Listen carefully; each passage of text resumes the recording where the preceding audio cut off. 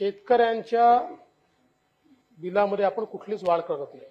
महावितरण जे मागतं तेवढी वीज दरवाढ ही कधीच एमईआरसीच्या माध्यमातून दिली जात नाही. तर उद्योगाची देखील ही परिस्थिती राहिली नाही की उद्योग ही क्रॉस सबसिडी झेलू शकेल. इतके आपण त्याचे दर वाढवून ठेवले आहेत. माझा स्पेसिफिक प्रश्न आहे की हे सदुसष्ट हजार कोटीची दरवाढी आपण थांबवणार का? माननीय सभापती महोदया पहिल्यांदा तर मी स्पष्ट करून देऊ इच्छितो की शेतकऱ्यांच्या बिलामध्ये आपण कुठलीच वाढ करत नाही.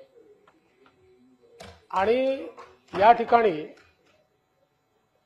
जे वारंवार पेपरमध्ये देखील छापून येत आहे मांडलं देखील जात आहे सदतीस टक्के सदतीस सदतीस टक्के वस्तुस्थिती नाही.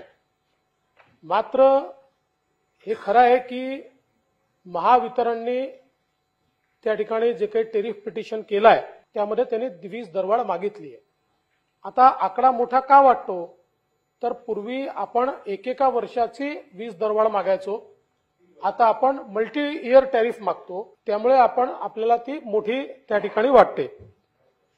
मात्र या संदर्भात राज्य शासन देखील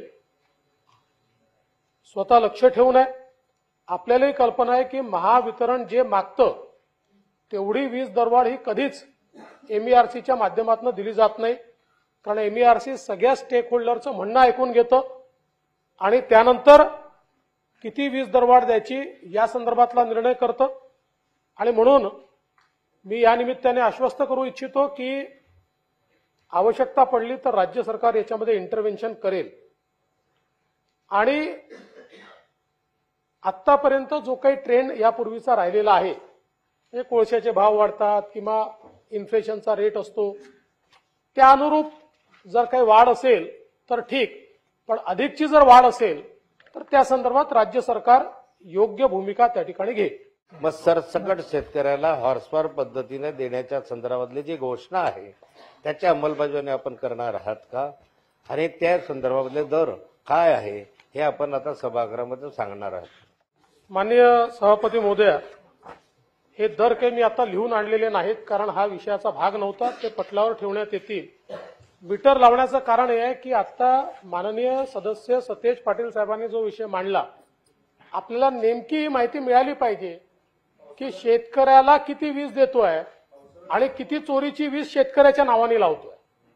हे देखील आपल्याला समजलं पाहिजे. हेही महत्वाचं आहे. कारण शेवटी आपण दरवेळेस क्रॉस सबसिडी क्रॉस सबसिडी आता उद्योगाची देखील ही परिस्थिती राहिली नाही की उद्योग ही क्रॉस सबसिडी झेलू शकेल. इतके आपण त्याचे दर वाढवून ठेवले आहेत.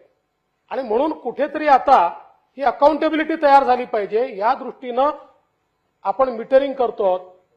आणि त्या मीटरिंगच्या माध्यमातनं नेमकी वीज शेतकरी किती वापरतात आणि आपण शेतकरी वापरतो हे किती दाखवतो या दोन मधला फरक एकदा लक्षात आला तर आपल्यावर उद्योगाचा जो भार आहे तो भार आपल्याला कमी करता येईल आणि म्हणून या संदर्भात मीटरिंग आपण करतो.